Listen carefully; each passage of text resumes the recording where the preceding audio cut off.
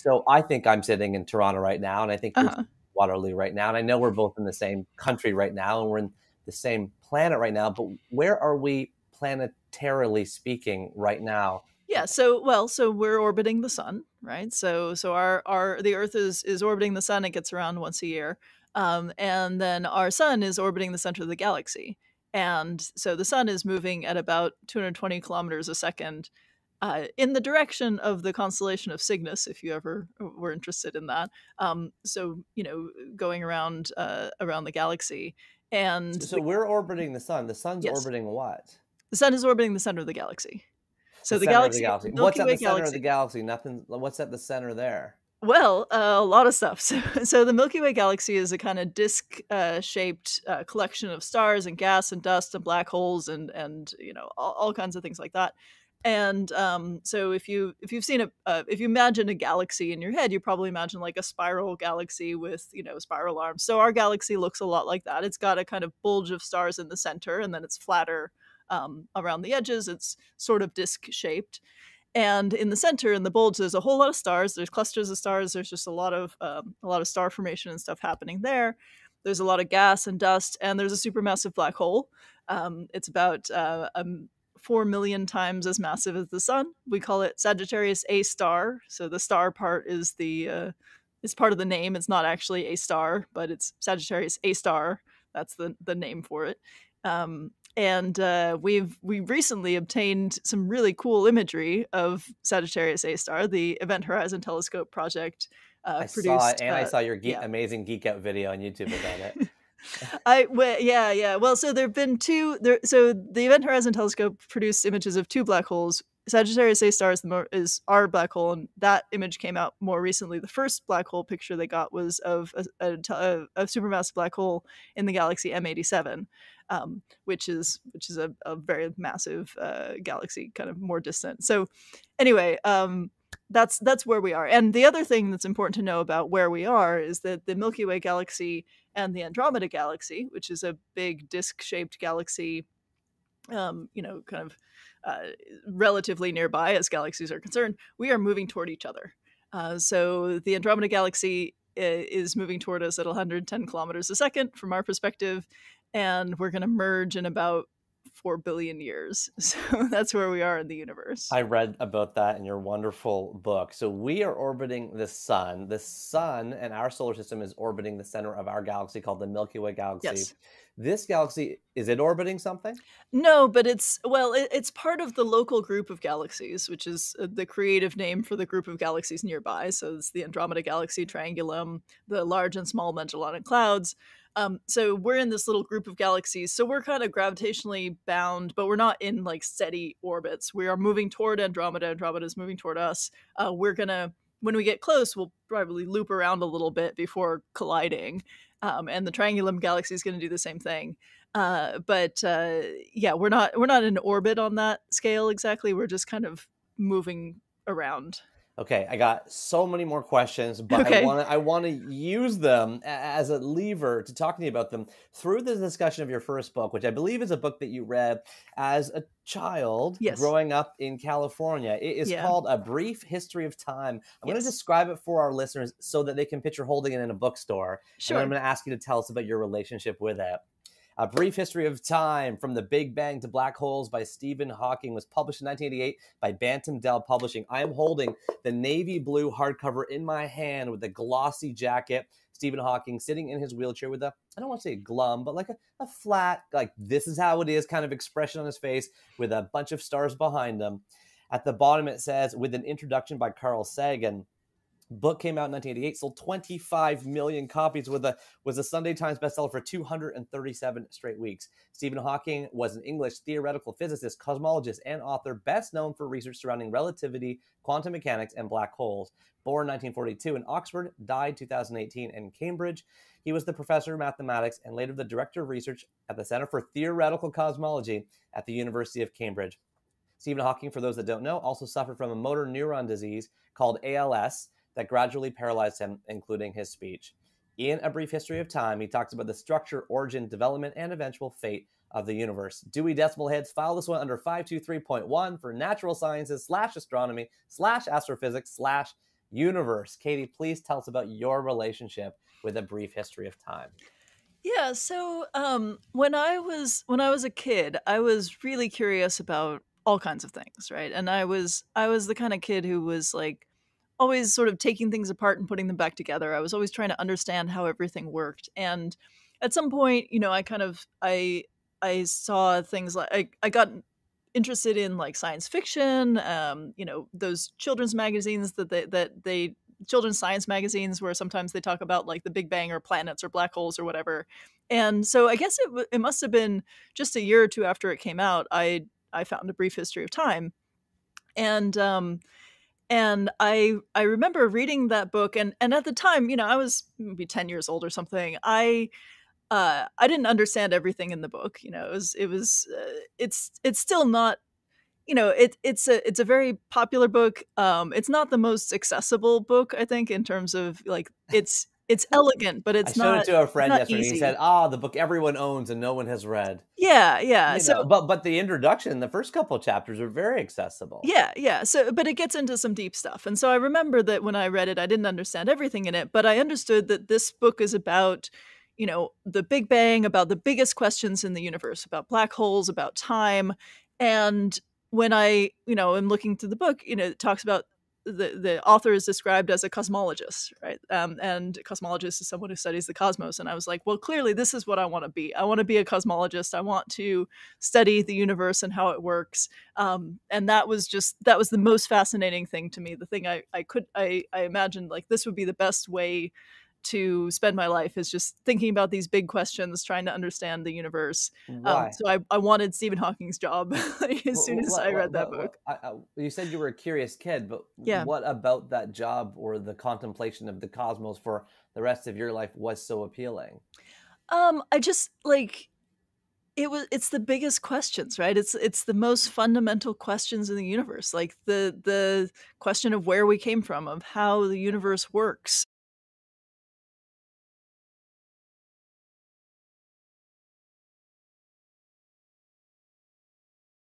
why is it here? How are how does you know how does it all fit together? Where are we going? Um what's going to happen to us? Uh you know all of those big big questions were things that i just found utterly fascinating and um, it just it was an extension of my curiosity about everything you know? I wanted to know how the tv remote control worked. I wanted to know how the bike gears worked. I wanted to know how black holes worked.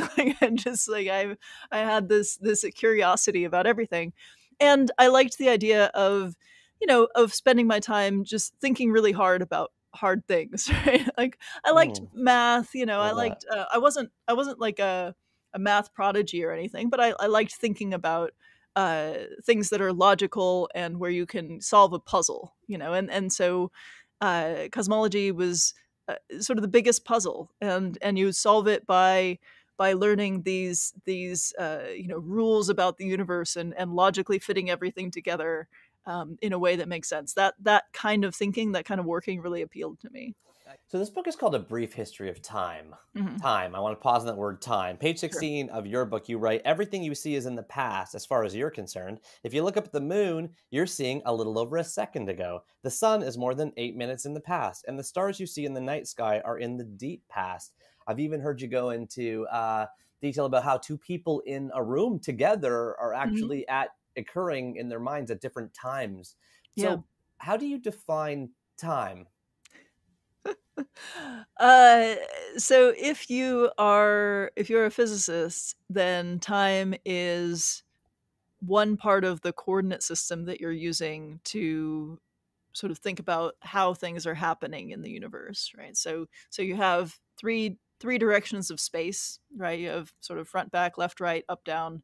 Um, and then you have time, which you can think of as another dimension, as another dimension where on this sort of grid uh, on on which things happen. So like if I said that, you know, if I said that that um, I don't know, a balloon pops, right? I can tell you where that happened, and I can tell you when that happened, and that's that's there's there's sort of four coordinates, right? There's x, y, z, and t, right? And so x, y, z are telling you the spatial part of that coordinate system, and then t is telling you the time. So that was an event that happened at a particular space at a particular time, right? Um, so generally in physics, we think of time as one part of that coordinate system that we use when we're talking about how things occur in the universe. It gets complicated because how you move through space affects how you move through time and that's that's all part of relativity. So if you're moving very very quickly then uh, your experience of time is going to be different from someone who's moving slowly. If you're very close to a large gravitating object like a black hole, your experience of time is different from somebody who is not near a large gravitating object. And so we all kind of move through space and time in different ways. And so, in the same way that, you know, if you're you're you have you trace a path through the world as you move through your life you also pe- trace a path through space time through this this sort of grid of space and time as you move through your life. And the way you're moving through the time part of that is dependent on how you're moving through the space part of that. They're connected to each other. And so we are all tracing our own world lines. They're called world lines these paths through space time and sometimes those world lines meet when you have an event where you you know go and shake hands with someone you're at the same place at the same time and sometimes they don't meet you know sometimes you're um, you pass by a, a, street corner somebody else passed by through you know 10 minutes before so you're at the same place but not at the same time. Sometimes you're you know you're uh, 50 meters apart across away from someone else you're at the same time but not at the same place. Like so there's it's i think of time as being part of this sort of coordinate system of this space time fabric essentially and that fabric is malleable which is the weird thing about relativity is that that the space and time can bend in different ways uh, depending on what you're doing and what's what's there. Yeah i'm trying to put my finger on that einstein quote that you may know and i don't about like the pretty girl and the oven burner. Have i don't know that, that, one. Oh, okay. He is that. Okay well i won't i won't try to do it but he's like you know because uh, i was the reason i wanted to use that quote is because it's like why do our perceptions of time change all the time? Mm. Like, what? How come? You know, uh, a, minute can feel like an hour in certain situations, well, and an hour can feel like a minute in others. How come? I mean, that's psychology. That's psychology, though. That's that's that's human experience. That's based on how our brains process uh, information and how we emotionally react to information uh, in different circumstances. And some of that is because you know when you know we evolved from creatures who needed to uh, think very very quickly when they're under threat. And uh, you know so there there are different ways that we that we experience time uh, subjectively just based on our psychology based on our biology. But but what i'm talking about is, is we experience time differently physically. So if, if you were an astronaut for example and you're orbiting the earth you're going to experience time slightly differently than someone who's at home. Not in a way that you can perceive. So you don't actually it, it's such a tiny difference you would not notice it uh, but it's measurable i mean even, i mean they've done experiments where they take a clock and they put it at the bottom of a tower and they take another clock and they put it at the top of a tower and they leave them there for you know a couple weeks or whatever and you can tell that they're a little bit off afterward really? like they yeah like the time that because the time is moving just a little bit slower on the surface of the earth than it is 100 meters in the air see okay i'm going to throw another thing at you on this okay. time i don't want to pause sure. on this time thing because because we also got this Gregorian calendar that we came up with 500 years ago, and we used it and clocked ourselves backwards, you know, mm. to, to a couple thousand years ago. But it's this annual cyclical kind of linear time. And then there's also I've been reading a lot about the the sort of more cyclical universal calendar that people have followed for many hundreds of thousands of years, the circle of life type thing, and growth and regrowth and so on. How do either of those calendars that we think about, maybe both of them, fit into this concept of time that you're describing?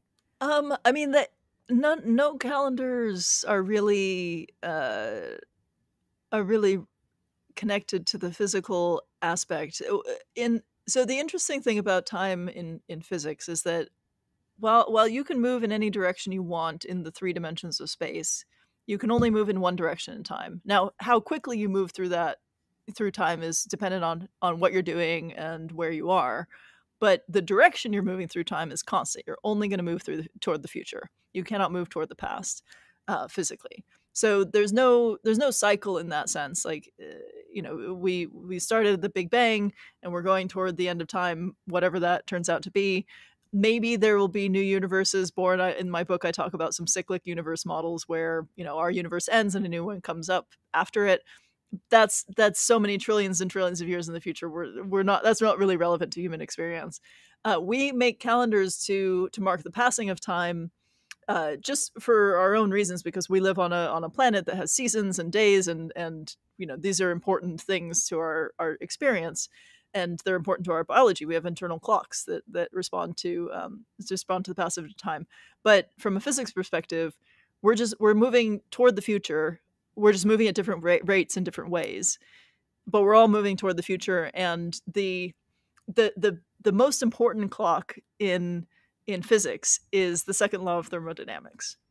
So this is the entropy. This is entropy. Yeah. So this is the idea that that disorder increases into the future. So whatever's mm. happening, there's more entropy. Entropy is just disorder, essentially. There's more entropy as you go toward the future, and that determines, in, in, in a sense, the direction of of time. Right. So so the future is dis- defined as the direction in which entropy is increasing and so and, oh, and that's you know the future is the direction that entropy is increasing yeah i mean there, there are different mm-hmm. ways to to mm-hmm. define things but i think the sort of most most sort of accepted way to think about the the future versus the past is that the future is the direction in which entropy is increasing. So, right.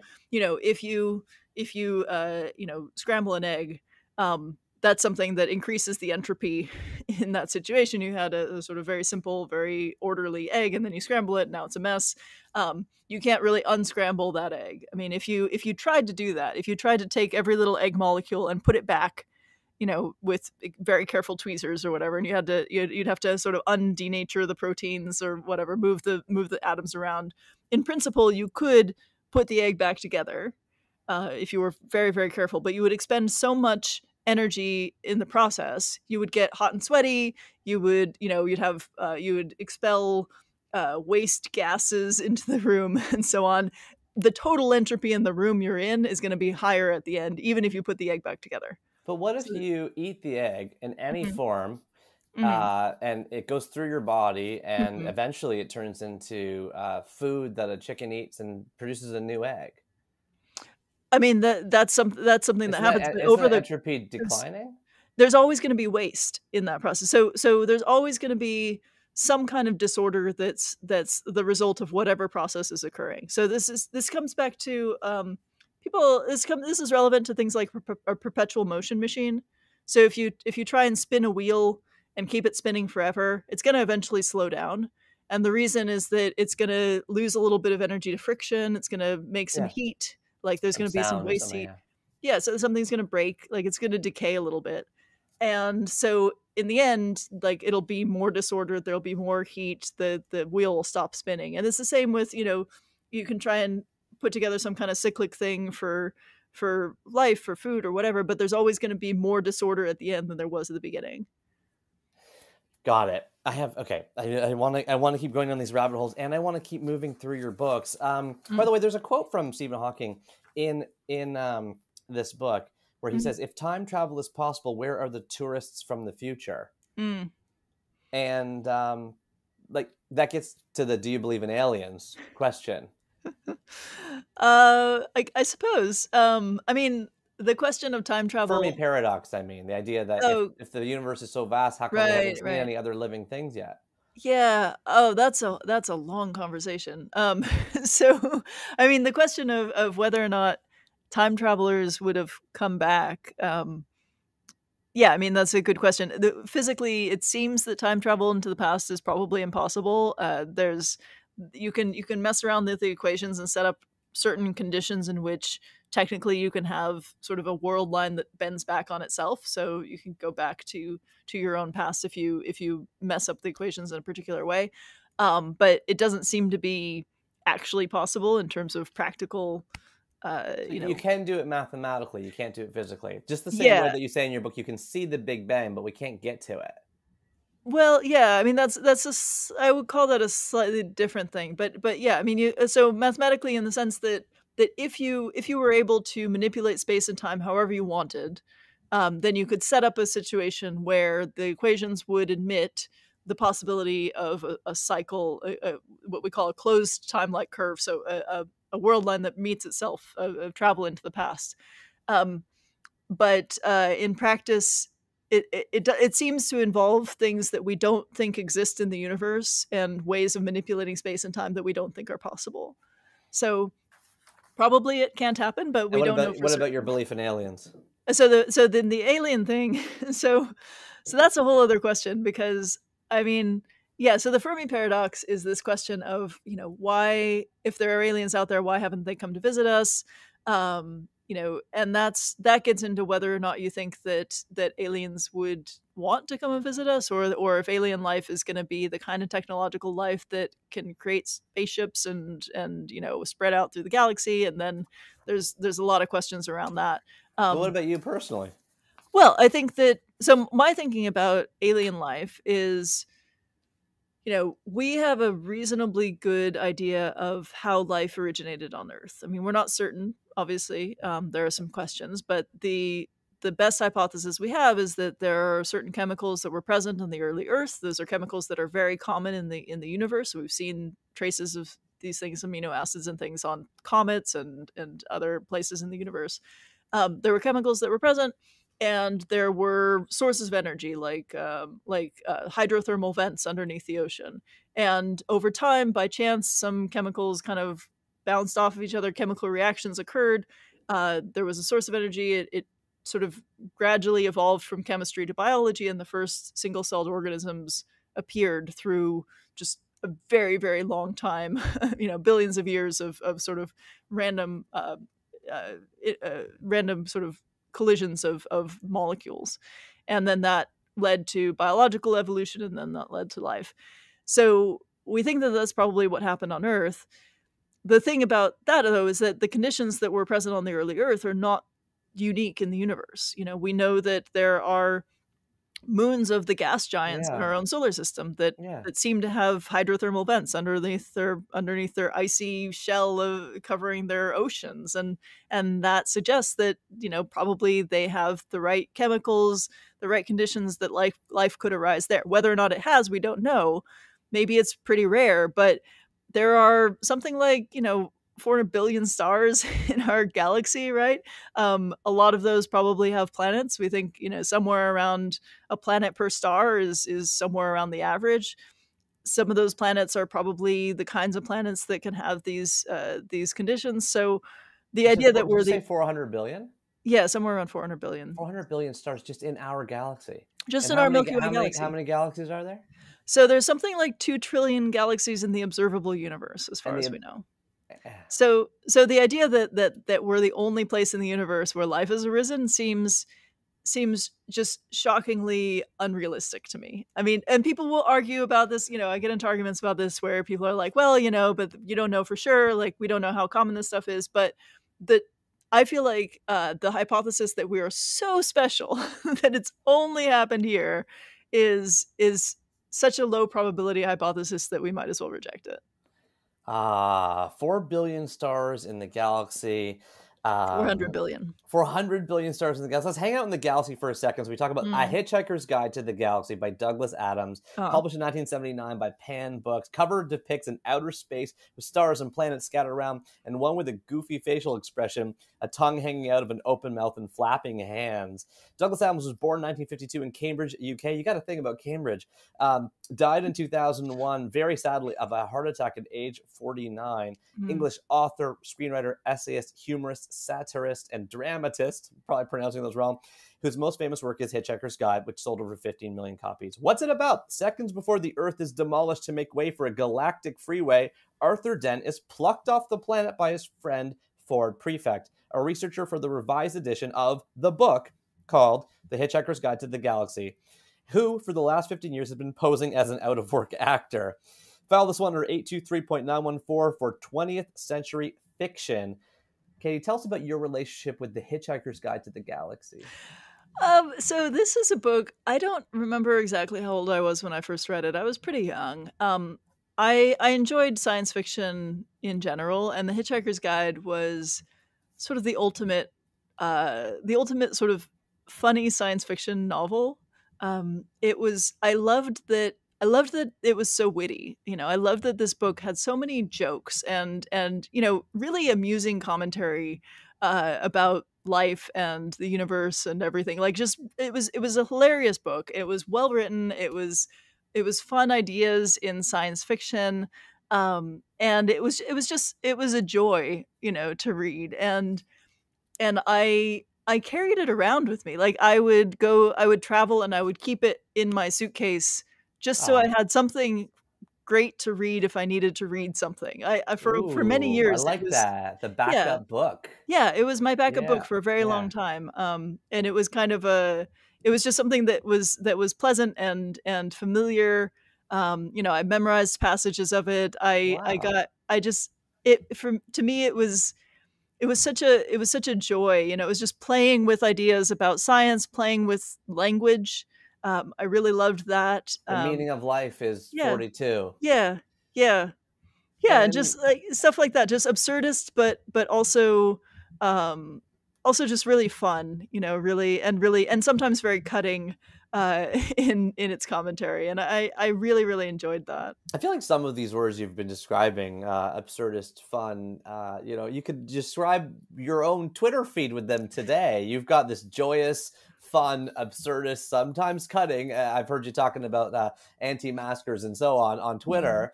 And at Astro Katie, for those that don't follow you, you've got half a million people you're talking to, you're broadcasting to, kind of on a Mhm. regular basis.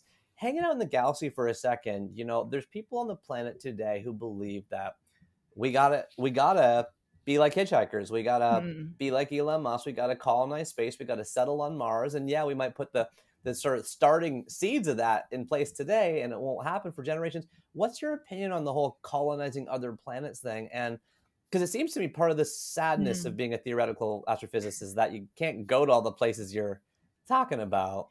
What's what? Where do you net out on what Jeff Bezos and Elon Musk are doing today? Oh, well, okay, so that's that's also a long conversation, I feel like. Um, I uh, first of all, there's there's a lot of discussion in the sort of space community about the term colonization and how that's that's the wrong sort of lens in which to view exploration of space because you know obviously colonization on Earth has uh, a long and and very uh, very Yeah, bad history. negative. Yeah, yeah. Yeah, yeah. Um, and we don't want to approach space exploration in that way as as sort of, you know, we're gonna go and we're gonna conquer Flag uh, planters. this place. Yeah, yeah. We don't want that's not the right way to go about this, right? Um, I I like the idea of going way, I out wanted to say that's fascinating to me because of the fact that there's no life on the you know, well, I we don't that know. We don't know, right? Right, right, right. We don't know for sure. Yeah. There could be microbes on Mars. There could be life on all a lot of other in a lot of other places in, Or in forms of life we cannot see or even perceive. Yeah, yeah, but but even if it is even if it is entirely lifeless, like it's it's still a natural wonder that that should not be approached with avarice, you know? Ooh. I I just I I think that that's that's that's part of the my problem with with that that sort of approach. so your first the first I asked you, "So what are your thoughts on the subject?" The first thing I thought was the word the word to describe it is wrong. It's not colonizing Mhm. plants. Now, so then zoom into the the act of taking our species off of just Yeah. here. Well, I mean, so I think that I mean, I wanna go to Mars. Like, I've I've applied to the NASA astronaut program a couple of times. I ma I made the first cut once. Like, I wanna go into space. You know, I do I do want Don't you to think it'll to take go too out long? there. Take too long? What do you mean? Yeah, to get there and to get back. I mean, It'll take a long I mean, it's a long trip to Mars, like, uh, you know, 6 to 9 months probably. Um, and that's part of the challenge of it's part of one of the things that hasn't really been solved yet. How do you how do you survive and survive with other people in a small space for that le length of time, right? That's that's part of the difficulty. But then but sorry to say this, but, like, then why'd you wanna go so bad? 'Cause I I just I I mean, I feel like I I want I want to experience that, you know, I wanna experience another world. I want to see what it's like. I wanna feel what it's like there. I wanna experience the different gravity of another planet, the the difference in where the horizon is, the the, you know, um, just the feel of being in a in a place like that. I I mean difference of where the horizon is? Well, because because the horizon the distance to the horizon is based on on the curvature of the planet, right? Oh. So So, so uh, it's closer on the moon or on Mars than it is here. So what looks like the ground and the sky touching would look at a different place there. Yeah. Yeah, I mean, it it might not be noticeable. I don't know. I wanna see. Like, I wanna know what that looks like. Yeah. Um, you know, so so I want to experience. I, I would love to experience. I love the idea of exploring. I mean, I love traveling on Earth. I love going to different places and experiencing different settings. So I, I would love to go, and I think that there's a lot of scientific. Um, there's a lot we can learn scientifically by by going. Scientifically, though, I think that the the the most efficient way to explore other worlds is through robots and satellites. I think that that you know it's very expensive and very dangerous to send humans uh, and a lot can go wrong. And, and once you have a human on a planet, you've contaminated it. So if there was life there, then you've contaminated it. You've you've changed the ecosystem entirely. So there are a lot of reasons why, from a scientific perspective, humans sending humans may not be the right choice, depending on what your goals are but I think that as humans, we like to explore. We we are excited by new places and new experiences, and we're inspired by that. You know, so many people were inspired by the moon landings, uh, inspired into going into science, and and you know, and and even even just from the perspective of if you go to another place, you have a different perspective on your home, yeah. right? And yeah, that that happens with. Dot. Yeah, yeah. So right. like the, yeah, the pale blue dot or, or the images of the Earth from the Apollo missions where some would argue that that sort of was one of the things that kind of kickstarted the environmental movement was mm-hmm. people for, for the first time seeing their earth from far away and understanding how fragile and and special our home is you know that that's another aspect of of human spaceflight that i think is is important and valuable and i was just um, learning i was just learning recently because we interviewed kevin kelly for this show mm-hmm and he was the former editor of the Whole Earth catalog. I was just mm. learning recently that those images were actually not revealed to the public for a long period of time because mm. they were thought to be fraught. Oh, with, really? With some danger, yeah. If, huh. if you showed everybody where, where, we actually are, yeah. But, but yeah, I, I thought so. I, I see that you're kind of like venturing towards like the net positive side yeah. of, of, this whole yeah. thing. But yeah. I was thinking of it from a different perspective, which is that I just watched Don't Look Up, right? Like mm. the tongue-in-cheek movie about the asteroid coming, and there's been endless asteroid hitting Earth kind of stories over time. And I guess part of the fascination we have with that is that we got to get somewhere else, like just in case, forget climate change for a second, just in case the whole planet, you know, were to get struck by something. So how far in advance do we see stuff coming at us? Well, okay, so so I I feel like that that's an argument I hear a lot, and I think that that's not a good argument. okay, so yeah. yeah. so okay, I think I think exploring the universe is a great idea for a lot of reasons, as a way to have a backup plan for humanity, I think it's a terrible idea. There, there is almost nothing you could do to the Earth. There, there's almost nothing the universe could do to the Earth that would make it less habitable than Mars is right right now.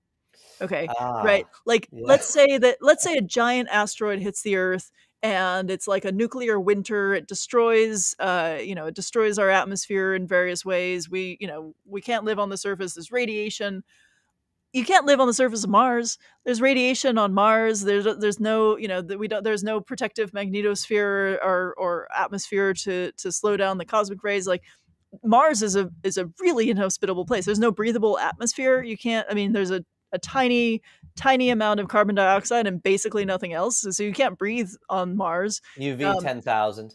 Sorry. UV is probably ten thousand. Yeah, I mean it's it's, it's a, you you can't live on Mars. You'd be if you go to Mars, you're living underground in like a lava tunnel or a cave to escape the radiation. Uh, you're you're bringing your own um, oxygen with you, or you're making it through um, through uh, with machines that can convert carbon dioxide to oxygen on the on the planet. You're you're you're taking you're trying to extract ice from the from the soil, yeah. but then it's it's contaminated with these toxic chemicals called perchlorates. It's a great it's a great point. You're saying, hey, the, the worst that could happen here is that we'd be more like that anyway. Yeah. Yeah, exactly. So, uh, how far? I wanted. How far in advance do we see stuff coming at us? Because when you talked to Ali a few yeah. years ago, you said, "Hey, in the southern, south of the equator, we got pretty much nothing looking up." Well, I, I think it, so. I think that I think that some of those surveys have restarted since then. Um, we don't see everything. Uh, we have pretty good coverage for the most dangerous stuff. Uh, for for things that can destroy a city, I think we we see most of those things before they can get here. Uh, you know, so it depends. Like there's a there's an element of luck. Um, if something is coming from the the wrong direction, it might be hard to see. We might miss it with our surveys. Um, so I don't know the exact numbers in terms of how well we're we're watching there are some surveys that are coming up that are going to do much better. So there are some surveys that are going to look specifically for for near Earth objects, and then there's also the Vera Rubin Observatory, which is going to be doing some um, some surveys that can find uh, near Earth objects. Some of those are going to be made more difficult by the Starlink satellites because the Starlink satellites uh, are just the kind of thing that make it harder to see um, to see near Earth objects. And so our, our ability to protect ourselves from space rocks is going to be damaged by the Starlink system. I don't that's know the, exactly that's Elon Musk's, that's Elon that's Musk's, Elon Musk's uh, thing. uh, thing to get everybody Yeah, faster yeah. internet. yeah so i i don't know you know if you work out the sort of like net positive or negative of, Yeah. uh, his ventures on the earth is hard to say right now Yeah. Hey, uh, I've been Mhm. wondering where to stick this question in, but it's been burning in my head since before we chatted. And so my dad's an astrophysicist. Mm, He Hmm. did masters in astrophysics at the University of New Delhi in 1966. So he jokes Cool. that the stuff he learned then is like what you'd learn in like 12th grade today, you know? Um, but also, uh, he also is a deep believer in astrology to the point Mm. where he's had, you know, all of our charts written from when I we were see. Mhm. kids and it's the date and location, place of your birth, and what the alignment of the stars was then.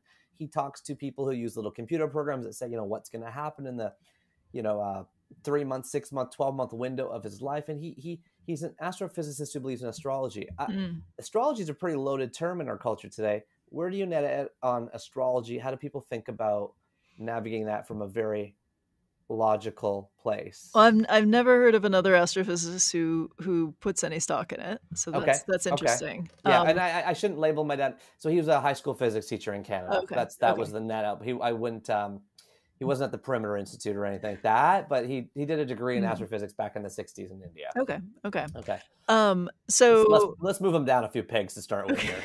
okay He'd be All fine right. with that. so when when I talk about astrology on Twitter, people yell at me um, because uh, because a lot of people view it as a kind of uh, a kind of cultural uh, practice or a religious practice. Um, and you know, I it's not for me to tell people how to think about their spirituality. but I want you to. But that's Right. Right. Well, so so my my my thoughts on that are that if it is if it is an aspect of spirituality, you know, I, I don't have much to say about that. Um, there is there is no science to it. There there are a lot of science terms in it.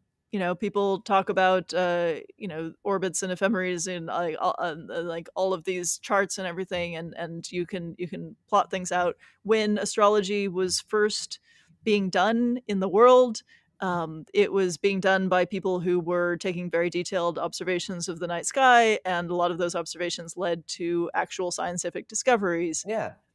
But astrology as a as a way of connecting the apparent positions of objects in the night sky to human experience has no science behind it at all. So wh- why the why the why the industry? Uh, I don't know. I mean, I think that I think that there are a lot of people who have figured out that um, that uh, a large segment of the public does not understand how uh, physics and astronomy work, and finds you know spiritual connection to the universe, and so there are a lot of people who exploit that, who uh, try to convince people that that there is some you know science behind the the positions of the stars and and and for a lot of people that feels very intuitive some people you know a lot of people think well of course the planets the positions of the planets should connect to how i live my life because you know we're all connected in the Or the date and place of my birth is some. So, Sure. like, I feel like there's more stuff coming up now in the science on the side of fatalism Mm, versus free will. Like I feel like I've always been a free will mm, kind of guy, and as I listen to more and more Sam Harris, or I listen to more and more, you know, these guys. I just saw you roll your eyes. I'm hearing a little more on the fatalist side these days from the Uh-huh. sciency people. Are you Uh-huh. are you not hearing this? Am I Um, misreading the? I mean, there are there are interesting discussions to be had about uh, about how our experiences and our brain, brain chemistry and our our backgrounds affect how we live our lives, and and you know you can you can you can dig da- down deep into that rabbit hole, but in any event, whether or not it looks like Mercury is moving east or west in the sky has nothing to do with it. you know i mean most people don't even see mercury right? Like it's actually kind of hard to observe the planet mercury uh, because it's quite, quite close to the sun. And so you know it's not like it's not like you're walking down the street and you look up and you see that mercury is moving the wrong way and it totally throws you off for the day. That's not that's not how that works but yeah and yet you talk about talk to people who are into astrology and they're like oh no mercury's in retrograde it's uh, you know i you know my whole life is messed up right. and that's that has nothing to it has nothing to do with you know the the the, the positions the apparent direction that mercury is moving through the sky just has no effect on anything on earth. Like it's just it's an optical illusion. And, and why sorry can i say why the eye roll? Oh about sam harris? Yeah.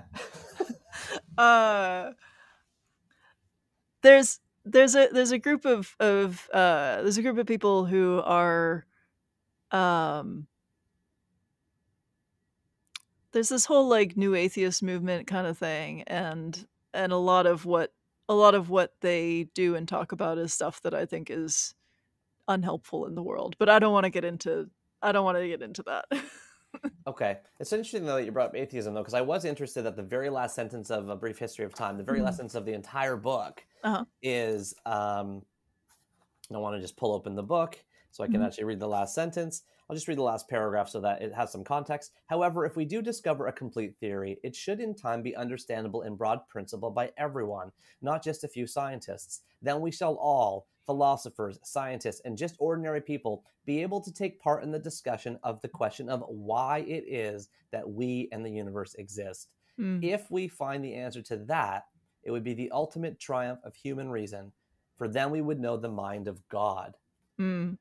I was very surprised that the very last sentence of this whole book was God. I was I was caught off guard. I I would I would guess that he was using that in a more sort of metaphorical way, um, talking about God as a sort of unifying principle of the universe rather right. than a everything as an as a as a metaphor yeah. for everything. That's Chapter that's what I would guess. With Pete Holmes, we talked about that. He he's a big mm. uh, proponent of Ram Dass and okay. uh, that be here now kind of spiritual idea. And he was a former uh, deeply um, passionate Christian growing up, uh, mm. evangelical, mm. and he's like, I, I, just now recognize the word God to be kind of everything around. Yeah, us. yeah. Okay, okay, cool. Now.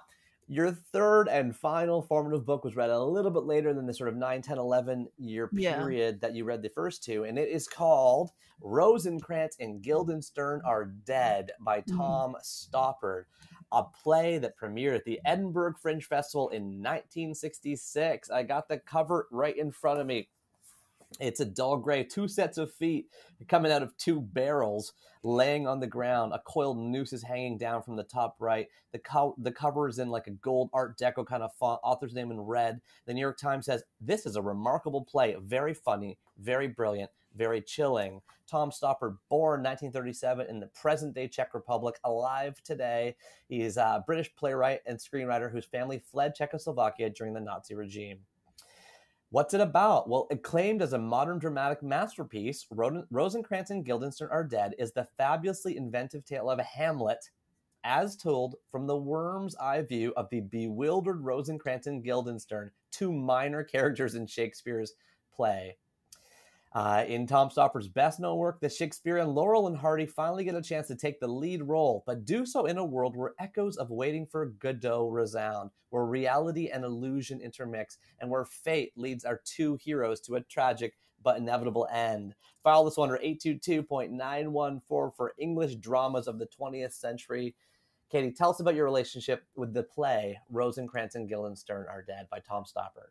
So I first encountered this uh, because my my sister had to had to watch the movie of it for class when she was I guess when she was in high school or something. Uh, she's seven years older than me, and she was a drama major and everything. And so um, she I love so that. I, She's like a drama. I love that you guys are so different. Well, yeah. So she was a drama major, and uh, she uh, spent a number of years um, as an actor, uh, just like um, doing Shakespeare and such uh, around L.A. But it turned out that she was one of you know a million tall blonde actresses in LA, and it's just like it's you, you, it's hard to get a break. Um, so now she's actually a math teacher, um, so anyway, uh, uh, she's great. So anyway, so she she had this this uh, play to read, this movie to watch, and I watched the film and I was just enthralled. Um, I, it was it was such an interesting approach to telling a story. Um, and the the main characters, at least in the film version, they go around kind of accidentally discovering uh, sort of weird things about physics um and then uh, but but like yeah but uh, like with The coin play flips opens with them that. flipping a coin heads 92 times in a row. yeah yeah stuff like that. So so weird sort of uh physics discussions with with little geeky things uh sort of sprinkled throughout. And um and it it just it had they had so much fun with language. Um and so so i loved all the wordplay you know um all of the, and it's just it's just full of these these really clever turns of phrase these these uh, puns and and um and interesting ways of speaking and I, and I you know by the time I was reading this this play I mean I watched the film I read the play um by the time I was into this I was also reading a bunch of Shakespeare you know I, I liked I liked that and my sister being a, a drama major like she you know also helped expose me to a lot of a lot of Shakespeare and I loved you know I loved Hamlet and I loved um the comedies and everything and and and this was a it was kind of a, a take on that but but from this this sort of weird absurdist perspective of of two minor characters and i i um i had i just had so much fun with it. Um i mean shakespeare has some some interesting comedy you know there's a lot of lot of wordplay in shakespeare especially in the comedies.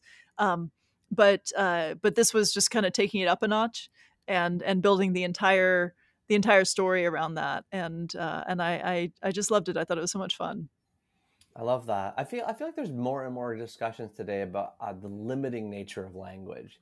Like Mm. I I grew up just you know uh, I, I was not aware of what language was you know growing up, but I'm hearing more and more conversations that are coming into the consciousness about how limiting language is as a communication device. How we're all forced to compartmentalize the vastness of our you know emotional experience into these tiny Mhm. compartments called words. But but you can do so much. I mean, there's i you can be so creative with language and you can you can create such beautiful and and thrilling things uh through through playing around with words. I mean, I think, you know, I, I mean, I'm I'm I'm obviously a scientist, but I'm also uh, I'm also somebody who just has such a love for words, for language, for for literature, for for speech, like just interesting ways of of of playing with words to to to get across a feeling or or a, a change of perspective um you know or that that sort of that thrill of of hearing something put in just the right way or, or a new way or or a new a new perspective on on anything because of of clever wordplay i i, I I love that I experience so much. I totally agree with you. And this is kind of the thing about narrative voice. Like, how Mm. astounding is it that you can actually feel the author's emotional energy, even though that energy isn't directly communicated through the words? I was so shocked when my very first book came out, and so many people said, I almost could tell that you were going through a divorce or a heart. It was true, I mm, was, but mm, and I didn't talk about that at all in the words. Somehow the mm, energy commu- was communicated through the words. And you know, you yeah always hear this phrase like, it's about what's re- reading between the lines, you know, that, mm, that mhm. classic cliche. How does that work? I mean, I I mean, I, I don't know. That's the again, we're getting into sort of human psychology, but uh, but it's it's it's amazing. Like I love the idea that you can you can create an emotion in another person just by the way that you're using words. You know, um, I I used to do a lot of I used to like, write a lot of poetry when I was younger, and I I loved the idea that you could you could use words in a way to to make someone feel something.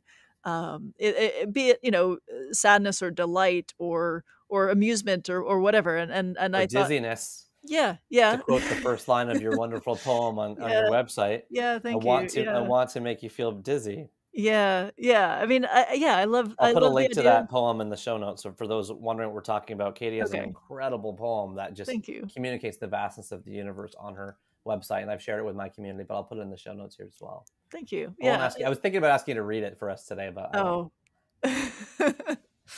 I mean, there's a recording online. You could just you can play that. okay Um, embarrassed about it. You, you. This is absurdist, right? This play, yeah. absurdist, absurdist, absurdist.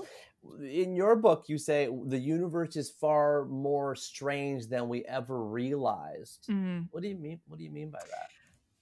I mean that that uh yeah, it's there are things about the universe, about the largest scales and the smallest scales uh, that are so they're so contradictory to our daily experience Like that what? they seem absurd to us. That they they seem impossible. Give, and give us a few tid- tidbits on that.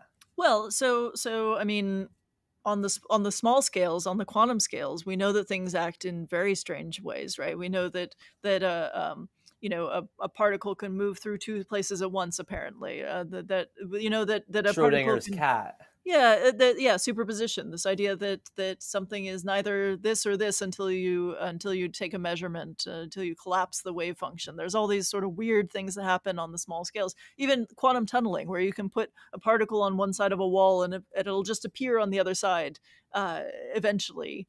Um, without going through or, or over happen. around. Oh yeah, that happens all the time. Quantum tunneling is is part is built into our technology. I mean, uh, you know, you've ever heard of the um, scanning uh, scanning tunneling microscopes? Uh, so this is the idea of uh, there are certain kinds of microscopes where the idea is they want to they want to uh, hit the target with electrons very very slowly to kind of trace out the the shape of something, and the, This, the is what this they an electron microscope? yeah, uh, but yeah, but what they use as the valve to drip those electrons on is quantum tunneling. They actually create a barrier that the electrons can't get through, but occasionally they do. And that's that's how the microscope puts the electrons onto the surface is they they make the use make use of the quantum tunneling. They make it impossible for the the electrons to go through in a classical way and they just quantumly appear on the other side. And that's how that's how they regulate the the flow of electrons. I mean, have, and- wow. Yeah, I mean, and, we, so we don't we don't really know why that happens. I mean, it has to do uh, like we we have mathematical models for why it happens. Where Uh-huh. if you if you say that every particle is not really a solid object, but a kind of wave function, a sort of a sort of cloud of probability um, in a region instead of at a single point, then it makes sense, and you can do the calculations and you can work out the transmission probability uh, Wow. based on that wave function. But Okay, okay, but it's okay. not- it's not a solid object.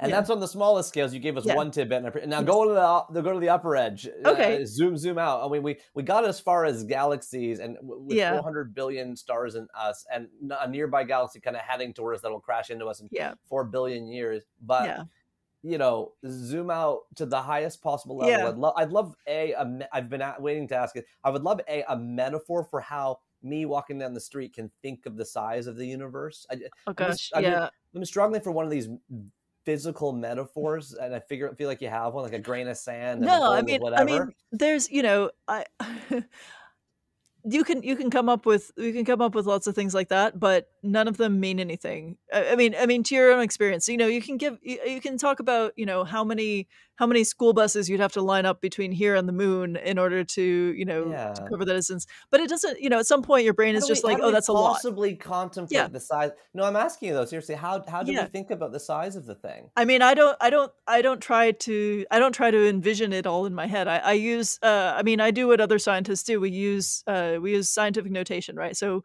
so ten to the one is is 10, 10 to the two is a hundred, 10 to the three is a thousand, and so you know, I I deal with things that are on the scale of ten to the eighteen meters. I mean, this is like uh, that's that's just too huge a distance to contemplate to to really hold in your head. You can you can try to kind of zoom out in in uh, powers of ten, you know. So there's And that's there's even that's even just the observable universe. yeah, yeah, that's just the observable. so there's unobservable after that. potentially. And then what's after what's after that? What's I mean, we don't know. We don't know. We we have no information about anything beyond the observable universe. Okay, So- well, give me something strange about Okay. about the about the big Okay. universe, and then I, yeah. So so here's my favorite one, and it's it's freaky. Okay, so so you know how if if something is far away, it looks smaller, right? yeah, Like so, just you I'm with you so far. Okay, great. Yeah. okay. if you had a galaxy if you if you uh if you have a, a galaxy of a particular size right just a normal size galaxy there's some physical say, scale of that galaxy if it is uh if you if it's farther away it looks smaller up to a point and beyond that point if it's farther away it looks bigger and the reason for that the reason for that is that the universe is expanding which means that it was much much smaller in the past and the most distant things we see right now are the things that are so far away that their light has taken billions and billions of years to reach us. And so there are some things that we can see that are so far away that the light has taken so long to reach us that when the light left those things, they were actually very close to us because the universe was smaller. And then the universe expanded and now they're very far away, but the light from them is coming to us from a closer and so that means that they look bigger on the sky because they actually were taking up more of the sky because they were closer when the light left them. But if they were, then why are are they now?